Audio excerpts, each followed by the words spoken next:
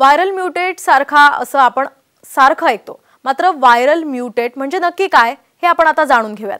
आपण पाहतोय आताची ही महत्वाची आणि अतिशय महत्वाची तुमच्यासाठी ही माहिती आहे. मानवी शरीरामध्ये विषाणू शिरल्यावर त्याची संख्या काही पटींनी वाढते.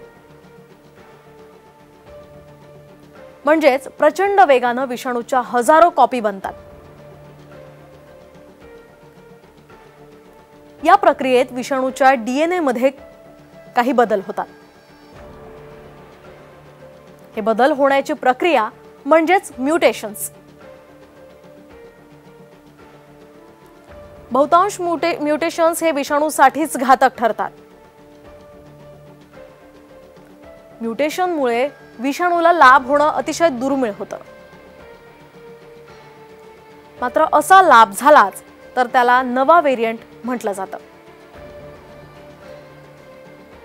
प्रतिकारशक्ती कमी असलेल्या व्यक्तींमध्ये म्युटेशनची शक्यता अधिक असते.